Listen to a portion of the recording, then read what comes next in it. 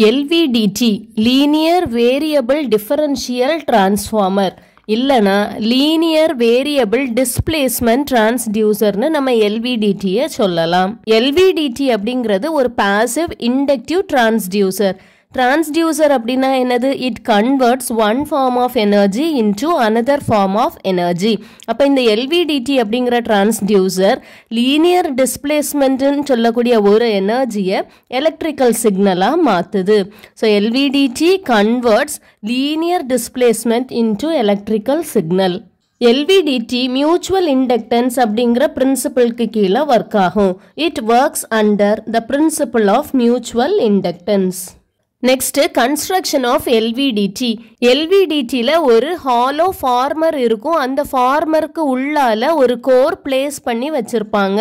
நம்ம இன்புட்டில் கொடுக்கக்கூடிய டிஸ்பிளேஸ்மெண்ட்டை இந்த கோரில் அட்டாச் பண்ணியிருக்கக்கூடிய ஆம் மூலமாக தான் கொடுக்க முடியும்.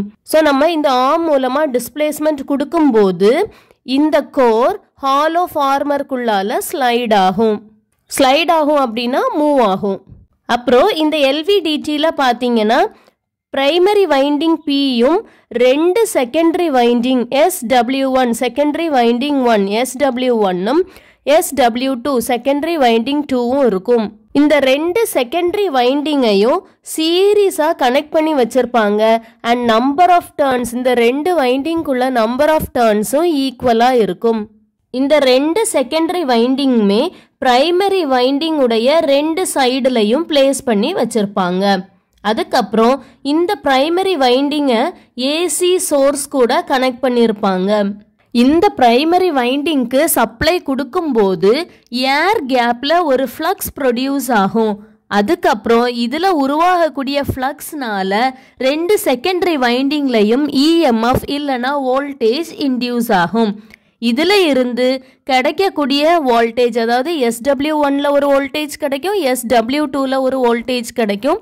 இந்த ரெண்டு வோல்டேஜுடைய டிஃபரன்ஸ் தான் நமக்கு கிடைக்கக்கூடிய அவுட்புட் நான் டயக்ராம் பார்த்து எக்ஸ்பிளைன் பண்ணேன். அதை நம்ம எழுதுறது எப்படி எழுதலாம்னு சொல்கிறேன் ஒரு ஹாலோ ஃபார்மர் இருந்துச்சு. அதுக்கு உள்ளாடி ஒரு மூவபிள் சாஃப்ட் அயன் கோர் இருக்கு. அது ஸ்லைட் ஆகும் அப்படின்னு சொல்லியிருந்தோம். அதை எப்படி எழுதணும்?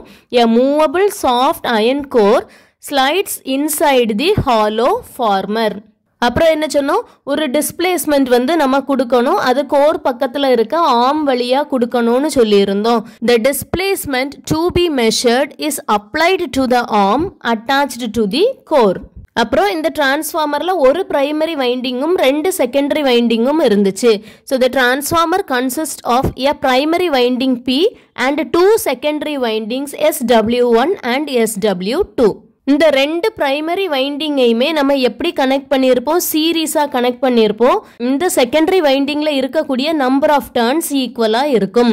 Both the secondary windings are connected in series and they have equal number of turns secondary வைண்டிங்கை primary winding உடைய ரெண்டு சைடுலையும் பிளேஸ் பண்ணியிருப்பாங்க secondary windings are placed on the either sides of the primary winding அப்புறம் primary வைண்டிங்க்கு நம்ம AC source கொடுப்போம். Source கொடுக்கும் போது அதில் இருக்கக்கூடிய ஏர் கேப்பில் ஃப்ளக்ஸ் ப்ரொடியூஸ் ஆகும். இந்த ஃப்ளக்ஸ்னால செகண்டரி வைண்டிங்கில் இஎம்எஃப் இல்லைனா வோல்டேஜ் இன்டியூஸ் ஆகும். அதை எப்படி எழுதலாம்? The primary winding is connected to the AC source which produces flux in the air gap and EMF or voltage is induced in the secondary winding.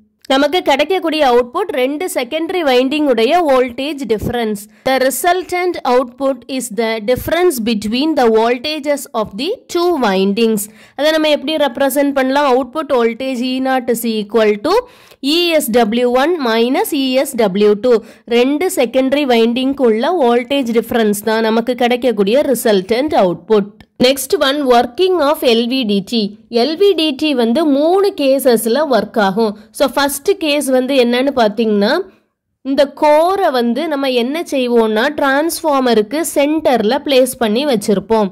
Case டூவில் இந்த கோரை left hand சைடில் place பண்ணியிருப்போம் case த்ரீயில் இந்த கோரை right hand சைடில் place பண்ணியிருப்போம் இந்த மாதிரி கோரை பிளேஸ் பண்ணும்போது நமக்கு என்ன அவுட்புட் கிடைக்குது அப்படிங்கிறத பார்க்கணும். முதல்ல ஃபர்ஸ்ட் கண்டிஷன் பார்க்கலாம். Core in the center case ஒன்ல டிரான்ஸ்ஃபார்மருக்கு நடுவில் கோரை பிளேஸ் பண்ணியிருக்காங்க. இந்த கோர் சென்டரில் இருக்கும்போது செகண்டரி வைண்டிங்கில் இன்டியூஸ் ஆகக்கூடிய வோல்டேஜ் இல்லைனா இஎம்எஃப் ரெண்டு வைண்டிங்லேயுமே ஈக்குவலாக இருக்கும்.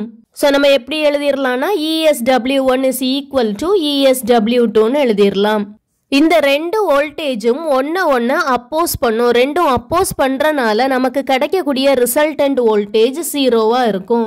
So E not is equal to ESW one minus ESW two which is equal to zero next one case two case டூவில் கோர் லெஃப்ட் ஹேண்ட் சைட் பொசிஷனில் பிளேஸ் பண்ணியிருப்பாங்க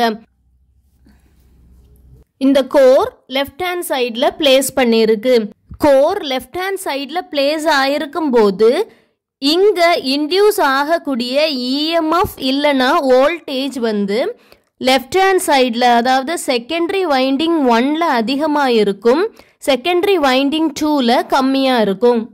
பாருங்க இஎஸ்டபிள்யூ ஒன் செகண்டரி வைண்டிங் ஒன்ல induce ஆகிருக்கக்கூடிய voltage secondary winding டூவில் induce ஆகக்கூடிய வோல்டேஜை விட அதிகமாக இருக்கும். So ESW one is greater than ESW two நமக்கு ரிசல்டன்ட் வோல்டேஜுக்கு ஃபார்முலா தெரியும்.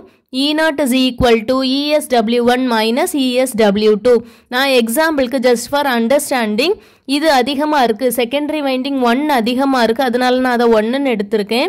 மைனஸ் செகண்டரி வைண்டிங் டூவில் கம்மியாக இருந்துச்சு. அப்போ நம்ம zero போட்டுக்கிடலாம். One minus zero we get plus one நமக்கு கிடைக்கக்கூடிய பொலாரிட்டி பாருங்கள் positive so the output voltage will be positive அப்போது கோரை லெஃப்ட் ஹேண்ட் சைடில் நம்ம பிளேஸ் பண்ணோன்னா நமக்கு கிடைக்கக்கூடிய output voltage positive next case three case த்ரீல கோர் இந்த ரைட் ஹேண்ட் சைட் பொசிஷன் கோரை ரைட் ஹேண்ட் சைடில் பிளேஸ் பண்ணி வச்சுருக்கணும்.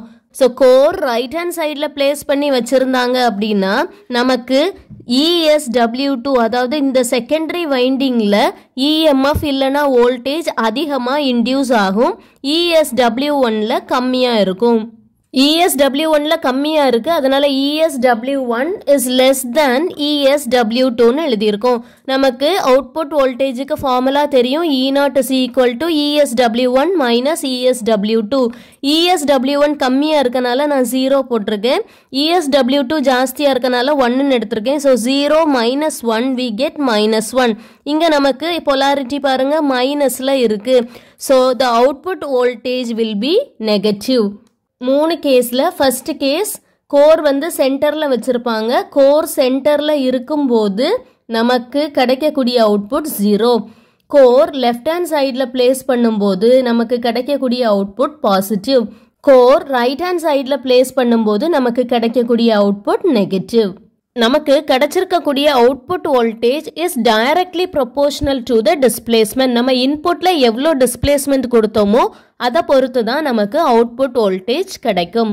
கோர் பொசிஷனுக்கும் அவுட்புட் வோல்டேஜுக்கும் இடையில உள்ள கிராஃபை வந்து பிளாட் பண்ணியிருக்கோம். கோர் சென்டர்ல இருக்கும்போது நமக்கு கிடைச்ச output voltage zero core left hand side பொசிஷனில் மூவ் பண்ணும்போது நமக்கு கிடைச்ச வோல்டேஜ் இஸ் பாசிட்டிவ் அதே இது கோர் ரைட் ஹேண்ட் சைடில் பிளேஸ் பண்ணும்போது நமக்கு கிடைச்ச output negative so this is the graph which represents the output voltage versus the core positions advantages of LVDT low power consumption high sensitivity, infinite resolution, small, simple and light in weight.